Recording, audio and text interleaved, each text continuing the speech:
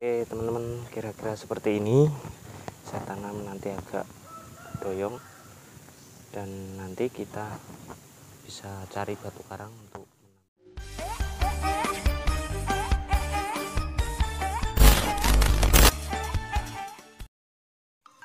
Halo sahabat calon puja sosial semoga sehat selalu.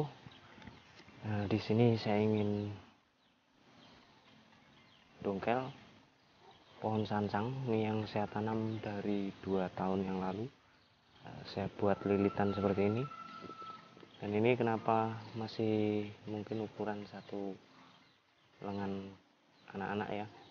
Ini mau saya panen karena banyak sekali eh, hama. Ini sudah saya kasih puradan dan saya udah kasih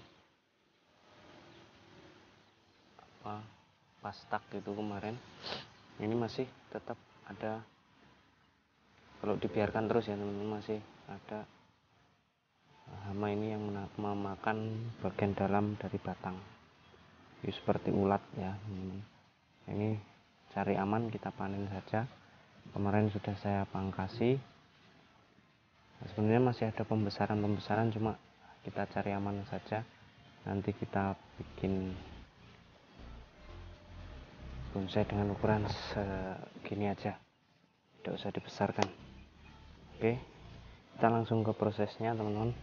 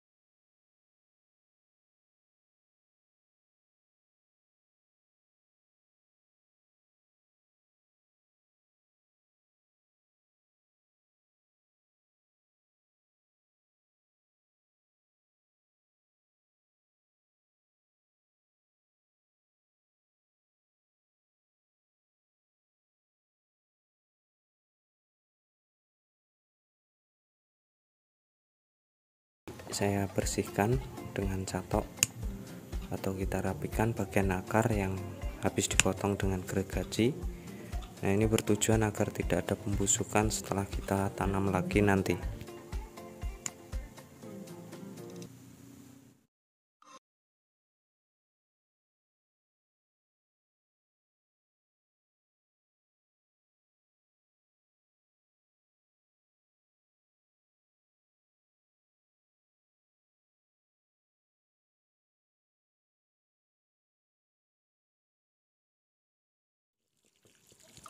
Oke teman-teman di sini saya mencuci akar dari pohon sancang ini. Ini bertujuan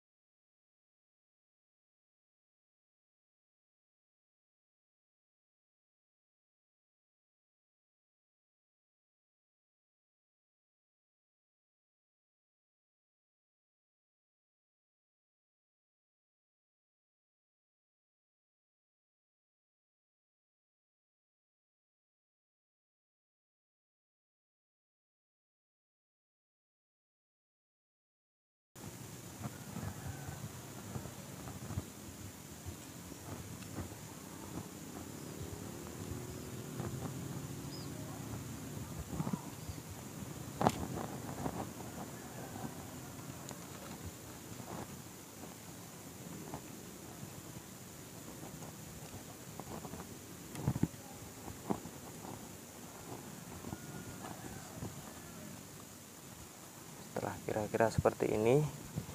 Kita gunakan tambahkan karpet. Untuk menambah media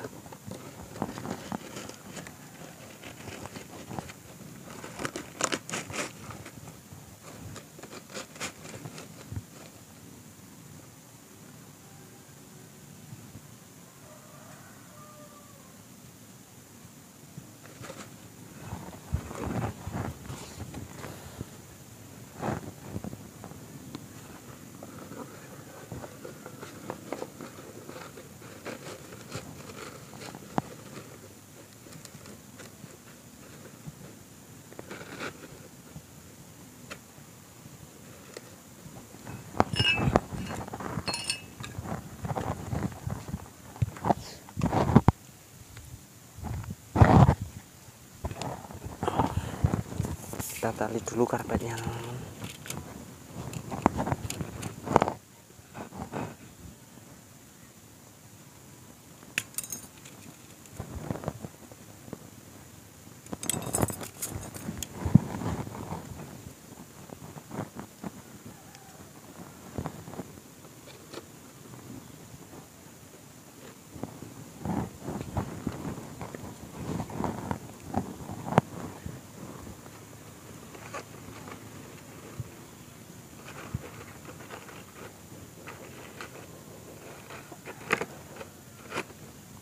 Oke, waktunya penambahan media.